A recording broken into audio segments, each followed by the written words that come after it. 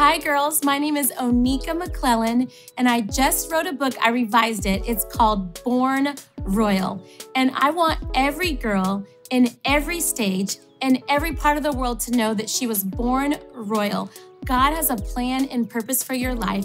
He has not forgotten about you. He sees you. He loves you. He's obsessed with you obsessed. He thinks you're stunning no matter your season. He knows every hair upon your head and thinks you're all things lovely. And I'm praying that this book will remind you that you are seen, that you have a hope, that you have a calling no matter the season that you're in. And I'm also hoping that as girls, God's girls, we start a value revolution where all around the world we speak life over one another. No competition. We don't have time for competition.